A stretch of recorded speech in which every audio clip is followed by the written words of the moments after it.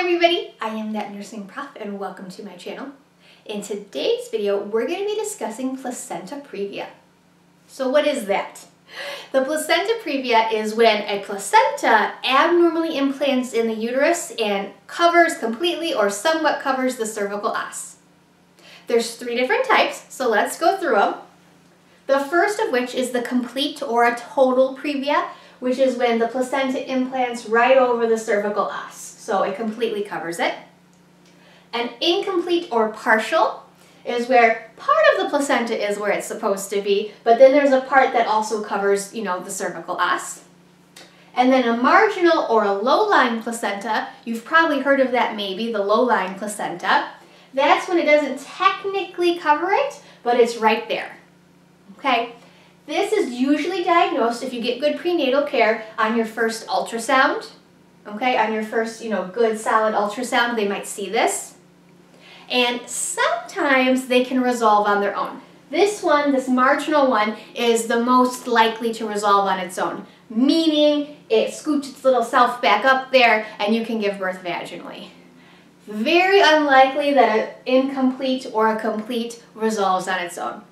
Usually, in this situation, it's going to be like this the whole time, and mom's going to have to have a C-section. So who's at risk for having a placenta previa? Of course, anyone who's had one before, right? So anyone with a previous previa. AMA stands for Advanced Maternal Age, so any mamas over the age of 35. Closely spaced pregnancies. So if you're currently pregnant and you just had a baby very recently within the past, you know, couple of months or a year or two, okay? So having them very close together, having babies very close together is a risk factor because of the exfoliation process of the uterus postpartum. Anybody with uterine scarring, so things that could cause uterine scarring would be like a previous C-section, or endometritis, which is an infection of the endometrium that can happen sometimes postpartum. That can cause scarring of the uterus, and if the uterus is scarred at the placenta implantation site from the previous pregnancy, when this new placenta tries to go in that area, it's not going to work, right? It's going to go, oh, I guess I can't go here, I'll have to go somewhere else. And then it'll migrate itself down. So scarring is probably the biggest one.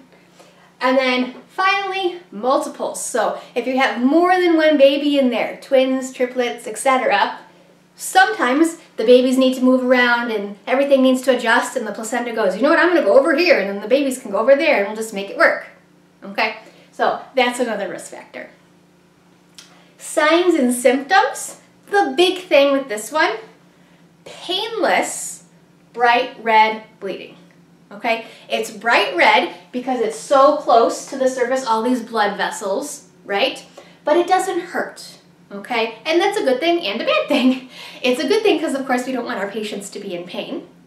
But when they are in pain, they're more likely to tell us about it, right? If somebody's having a little bit of bleeding, they may or may not know to call the doctor or to let the nurse know if it doesn't hurt. So it's a good thing and it's a bad thing, but it's the hallmark sign. If you're ever wondering, like, what's the placenta previa? What do I need to know about it? Know that it is painless, bright red blood. The uterus will be soft on assessment, okay? Their fundal height, when you go to do their fundal height measurement, it'll be higher than you would expect it to be. Meaning, if you think they're going to be 28 weeks and you do the fundal height and they're 34 weeks, okay? So not what you expected them to be and then it's usually associated with fetal malpresentation. And that's what I drew here in the pictures, okay? So in this one we have a transverse baby, so horizontal, and in these two we have a breech baby. Now, in this situation, could the baby possibly be cephalic, head down, and then the low-lying placenta resolves and she can give birth vaginally? Yeah, that happens, um, but usually associated with fetal malpresentation, so either a transverse lie or a breech. Our nursing interventions. What does the nurse need to know about taking care of a placenta previa patient? Honestly, it kind of depends. It depends on what kind of previa it is. So obviously we're gonna treat a complete versus a marginal a little bit differently. And then also, is she in her first trimester or is she term and ready to deliver? Right? So all of these factors kind of come into play. So what I've done is I've made a list of some things that we might do depending on how far along they are and what's going on with them. The first of which is if they're bleeding, we're going to assess that bleeding. Luckily, for most women who have a placenta previa, the first incidence of bleeding, the first time they start noticing that they're bleeding, is not enough to hurt the baby, which is a good thing, right? And it also informs us that, hey, something's going on here, right? So assess that bleeding. We're going to count and ideally weigh the pads. We're going to be doing fundal height, just like here in our signs and symptoms. We're going to be doing Leopold's maneuvers because we're going to be checking for baby's presentation because again, often malpresentation. Vital signs. We're worried about hypovolemic shock. We're worried about a dangerous amount of blood loss or a hemorrhage, right? And so that will be evidence in the vital signs. We're going to give volume expanders, usually lactated ringers, so IV fluids. She's going to be on bed rest at a minimum, at a minimum, or pelvic rest. So bed rest meaning she actually has to stay in bed and can get up to go to the bathroom and things like that, but that's about it. Pelvic rest meaning she can do normal things, she can live her daily life, but nothing in the vagina, like no intercourse, no anything else. Fetal heart rate monitoring, definitely we're going to be checking to make sure uh, baby's doing okay and how are they handling this. An ultrasound, that's probably how we're going to diagnose it initially if they don't have that initial bleeding. We're going to see the placentas in the wrong spot. We're going to be doing an H&H. We're going to get a baseline, and then we're also going to be doing follow-up H&Hs to see about blood loss and how much she's actually lost. Of course, we want to do a blood type and an RH factor because if she is actively bleeding, we always have to be thinking about we need to replace that blood. Okay, so possible blood transfusion. And I put it down here.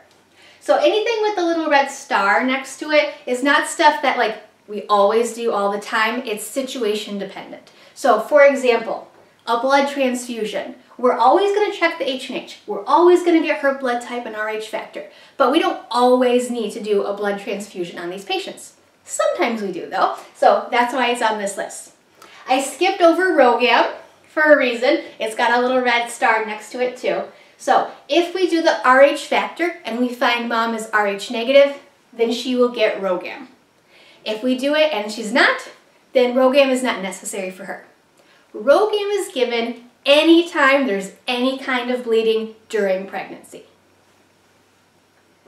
Corticosteroids may be necessary. So if she is term and ready to deliver, we don't care. We're not doing that okay? If she is preterm and we have to deliver her and we can't do anything about it, an ideal situation would be to give her some betamethasone, which is a corticosteroid, which will help fetal lung maturity. So it's going to help baby, after it's born, survive a little bit easier.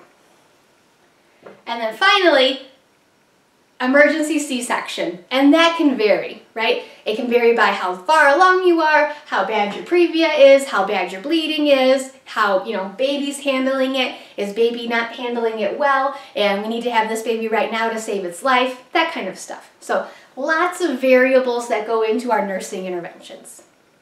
We do have a mnemonic device to help us remember some of the key aspects of placenta previa. So the P is for painless, bright red bleeding. So that's the hallmark sign, right? R is to replace blood loss. So this could be either through a blood transfusion, if it's at that level, or IV fluid replacement. Evidence in the lower uterine segment, meaning the placenta is covering the os, right, or somewhere near the os. V is for vitals. Vitals may indicate shock, right? So hypovolemic shock, that's what we're concerned about here. I is for inspecting the fetal heart rate. So how is baby handling it? And then A is avoiding vaginal examinations. So the reason we want to do that is think about it. You're going to check your patient and you go to do your vag exam and you poke the placenta and now they're hemorrhaging, right? Now you've made it so much worse right? So we want to avoid vaginal exams because we want to prevent them from bleeding more than they even have to, more than they already are. So that's my video on placenta previa. I hope you found this helpful. Don't forget to like and subscribe. And if you have any questions or comments, please let me know. If not, I'll see you on the next one.